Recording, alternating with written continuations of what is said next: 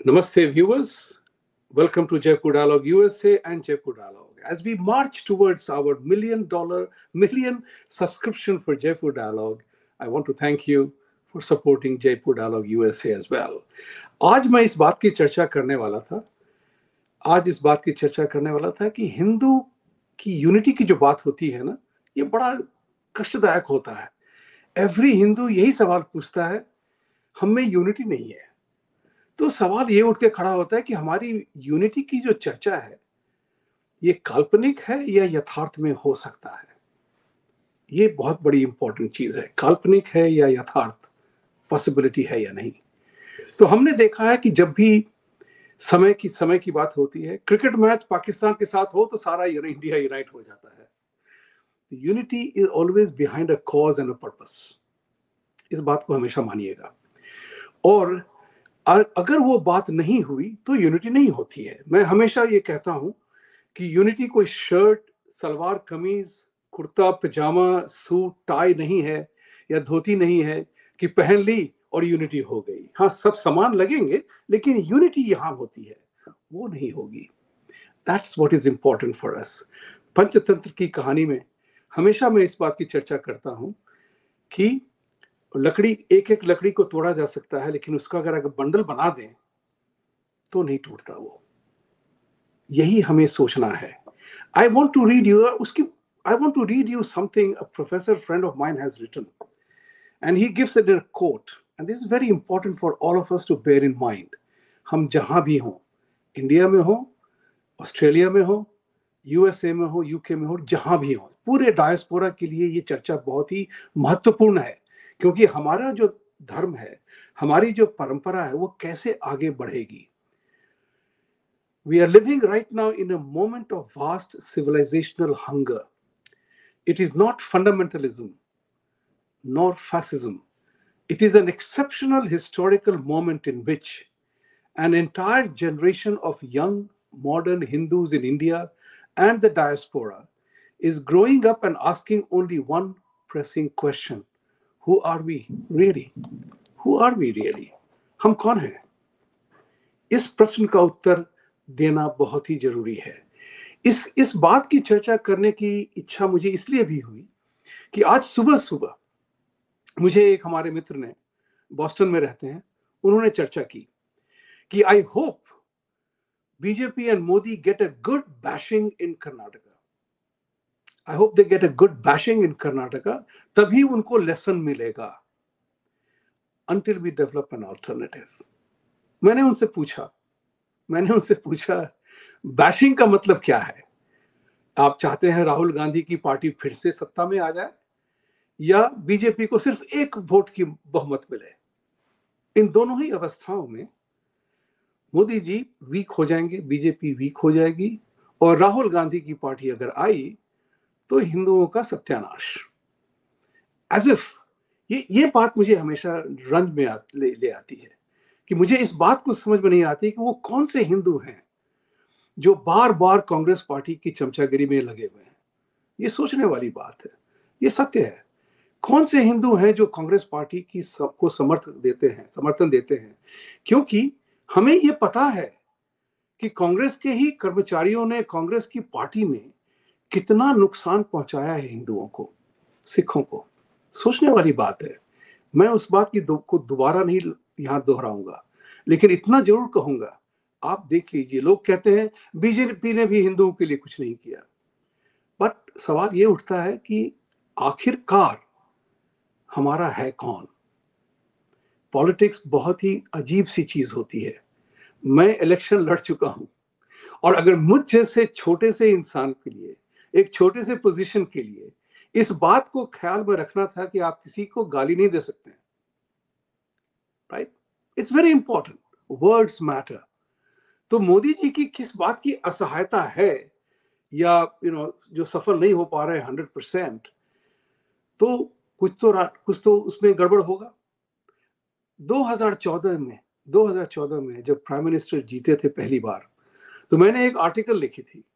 कि prime minister Modi biggest challenge would be managing expectations and dealing with bureaucracy because bureaucracy is not a change agent. Bureaucracy loves precedence it's the nature of the इस इस अगर पूर्व पक्ष करेंगे तो यही होगा कि बहुत कम ब्यूरोक्रेट्स चेंज के लिए आते हैं सामने कदम उठाते हैं most of the people are willing to live by the rule of law जो लॉ बना हुआ है वो वो गवर्नमेंट के आइडियाज़ को इम्प्लीमेंट करते हैं। बुरा या सही, गलत या ऊपर नीचे जो भी हो।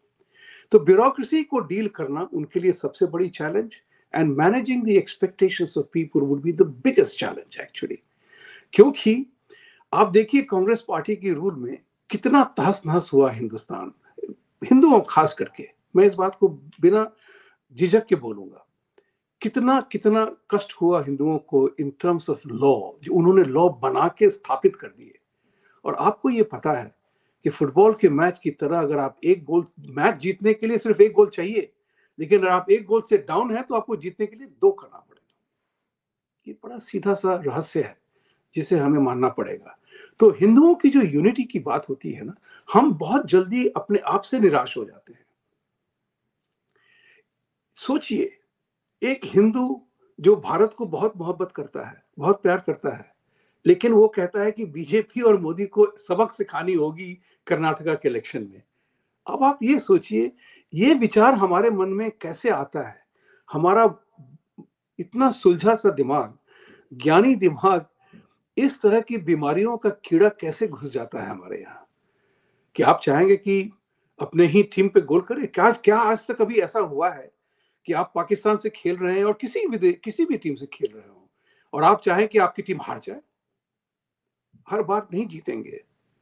कुछ जीतेंगे, कुछ हारेंगे, कहीं कहीं ड्रॉ भी हो जाता है। इसका मतलब ये नहीं है कि आप अपने टीम के सपोर्ट नहीं करते हैं। तो मेरे मेरे विचार से यूनिटी पॉसिबल है।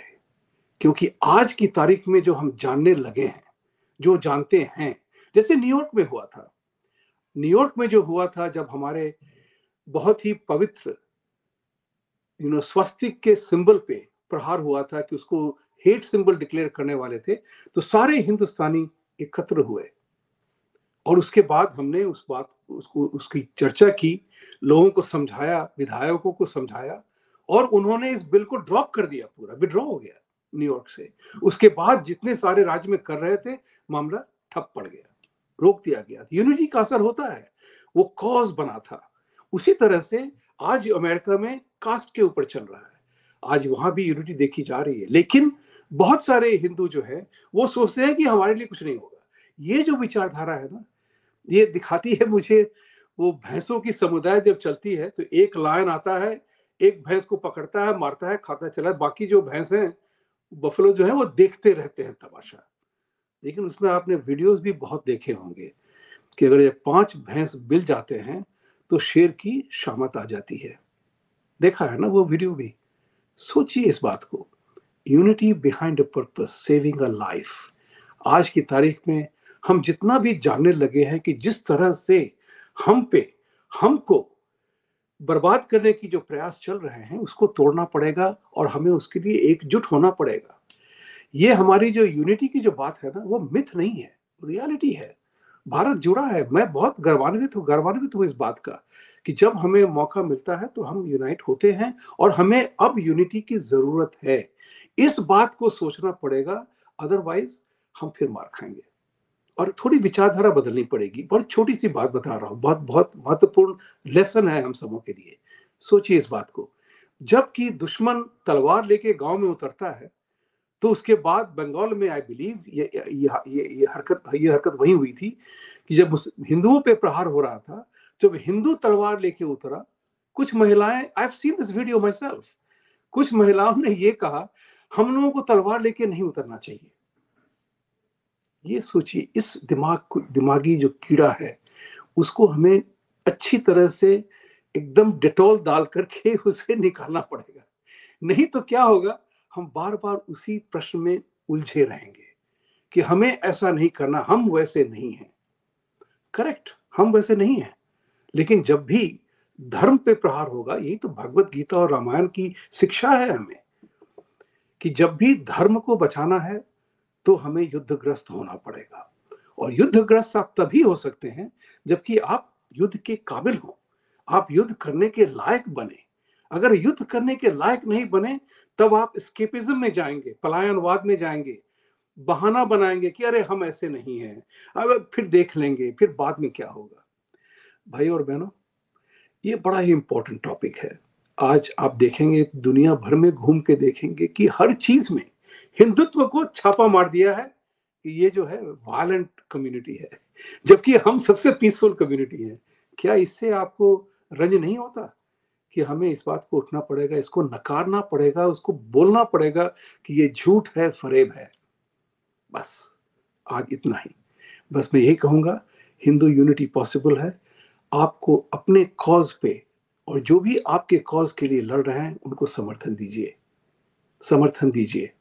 जो भी हो, चाहे एक पैसा हो या एक डॉलर हो या सौ रुपए हो या सौ डॉलर हो, जो भी हो, जो भी कुछ आपके लिए काम कर रहा है, उसको समर्थन दीजिए।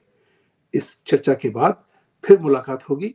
आज के लिए बस इतना ही काफ़ी।